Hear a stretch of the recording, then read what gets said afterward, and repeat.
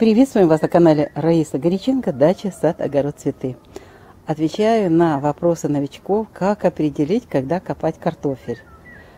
И просто на примере нашего огорода, наших грядок рассмотрим этот вопрос. В первую очередь э, смотрим на то, как выглядит картофель.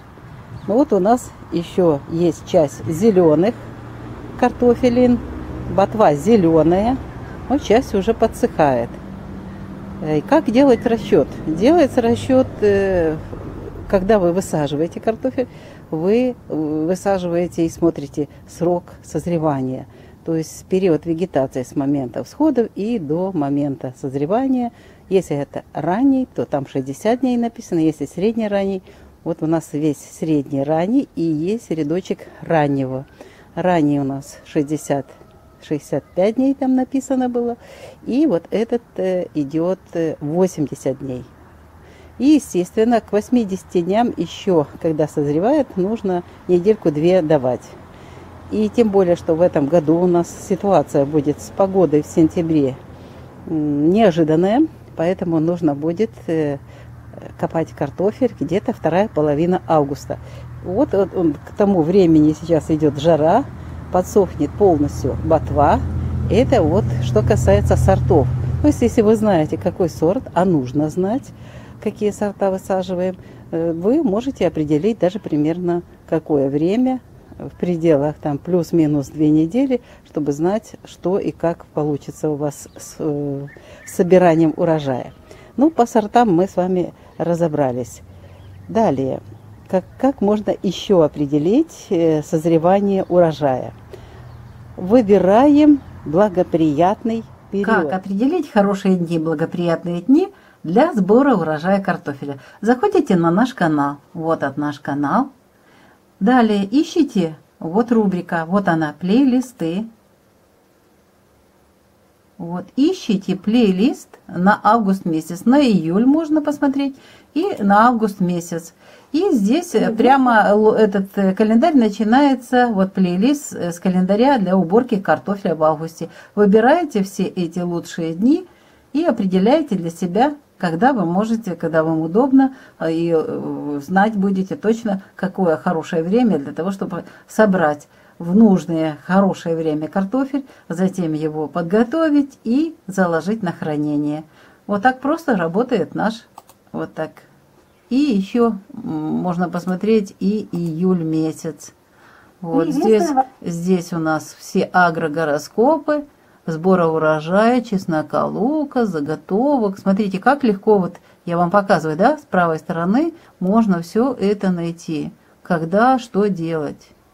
Вот, уборка у нас, это сбор урожая, он одинаковый, что и для картофеля, и для лука. Вот все наши Э, агрогороскопы, очень легко это все найти и узнать. Будем выкапывать картошку, проверять, какая она, в каком состоянии находится. Давай, давай посмотрим. Э, вот этот куст, вот этот, этот, этот куст выкапывай, посмотрим, что там у нас. Просто зрители наши спрашивают, как узнать. Вот, мы сейчас посмотрим конкретно кустик. Вот. Естественно, зеленая еще не подходит. Но посмотрим, что там внутри. Надо знать. Это очень важно. Выкопать, посмотреть, рассмотреть. Вот. Сбоку вот так ложи, ложи, ложи, ложи. Все. Выкопал. А теперь на, ты снимай, а я буду картошку. Нужно еще с той стороны посмотреть. Нет, достаточно. Нам нужно посмотреть картофель, потому что спрашивают, как же все-таки определить. Ну вот смотрите, еще зеленые у нас стебли. Не все созрели, выросли, но они уже не вырастут, скажу вам честно, мы уже и не поливаем, и дождей нету достаточно. Вот. Что берем? Берем картофель. Смотрите, он еще молодой, видите? Если потереть, то вот снимается кожица.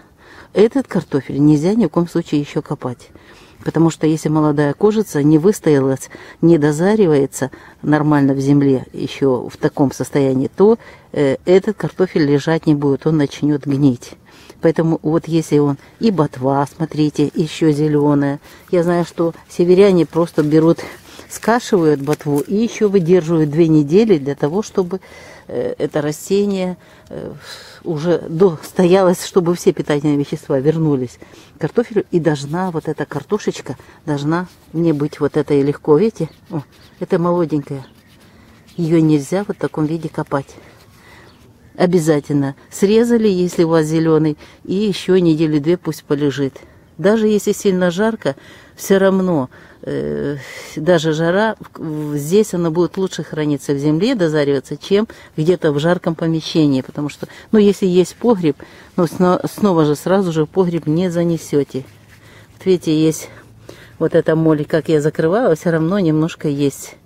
Но это будет в первую очередь так, давай сейчас пойдем посмотрим еще кустики.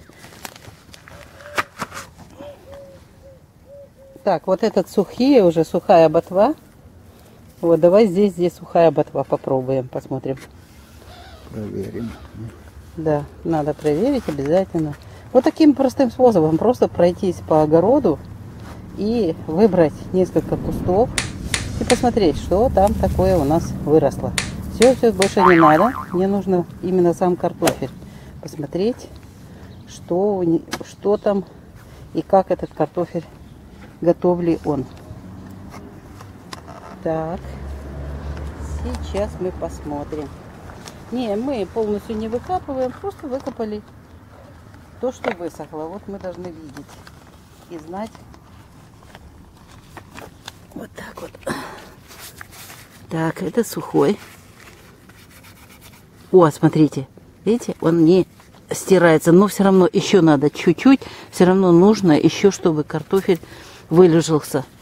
Поэтому мы где-то середина августа будем выбирать именно благоприятные дни. Кстати, у нас есть на канале э, уже благоприятные периоды, есть календарь агрогороскоп для того, чтобы копать в августе месяце картошку. Можно выбрать себе лучший период, когда есть возможность и, естественно, теперь еще очень одно важное условие для того, чтобы выкапывать картофель, это условие погоды. Ни в коем случае в дождливую погоду не собираем. Это правило очень важное. Выбираем, подбираем э, дни, когда а в августе еще дни сухие, еще можно спокойненько э, в это время работать. И без дождя, без воды, без болота, потому что если будет болото, то, конечно же, в болоте и выбираешь, и храниться будет плохо. Вот, смотрите, еще раз, да? Смотрите, блатва у нас пустая. Вот, она уже сухая, и на ней ничего нету. Э, картофель весь получил из ботвы нужные питательные вещества, все, что было нужно. И картофель, вот он созрел. Ну, картофель разный, и поэтому вот, еще раз хочу показать, вот как можно. Просто выкопали. Еще нужно, чтобы полежал пару недель. Ничего, что, еще раз говорю, ничего, что очень сильно жарко. Если он не вылежится, вы собрали молодой картофель, не созревший, есть с кожурой, которая снимается, э, результат будет не всегда хороший. Э, и, естественно, после копки нужно его еще на дозаривание оставить. Но сегодня важная задача определить, когда будем картофель копать. Э, выберем сухой день, выберем благоприятный день для того, чтобы выкопать картофель. Ни в коем случае, напоминаю, нельзя копать картофель когда время Луны в растущей или убывающей Луны находится в знаке воды и девы. Проверено много лет, ни в коем случае в это время в дни рыбы, скорпиона, рака и девы не копаем картофель, иначе мы можем этот картофель весь испортить. Причем массово он портится, он не лежит, очень плохо э, сохраняется.